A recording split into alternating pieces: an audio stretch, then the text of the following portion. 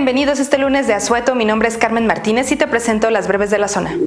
Guadalupe Cayente Moreno, madre que entre el dolor profundo de haber perdido a su hijo y la impotencia por las nulas acciones para que el hecho se esclarezca, clama una sola cosa, justicia. Se cumplen ya 90 días de la muerte de Leo, como le llama su madre, y la justicia no llega. Leonardo fue víctima de una presunta ejecución extrajudicial a mano de elementos de las Fuerzas de Seguridad Pública del Estado en San Miguel de Allende. La información completa la encuentras en zonafranca.mx. La Secretaría de la Defensa Nacional envió ya un total de 1.600 efectivos para trabajar en cuatro regiones en el Estado. A través de un comunicado, el gobierno del Estado informó de la llegada de estos elementos. Las cuatro coordinaciones regionales de máxima prioridad se van a desplegar en cada una de ellas un efectivo de 400 elementos.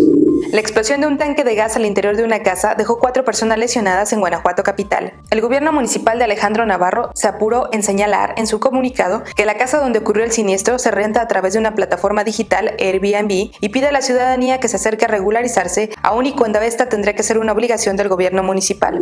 ¿Sabías que el Poder Judicial del Estado de Guanajuato está integrado por una presidenta, 20 magistrados y magistradas civiles y penales, un secretario, así como jueces y juezas capacitados que trabajan día a día para impartir justicia, respetando y cuidando tus derechos?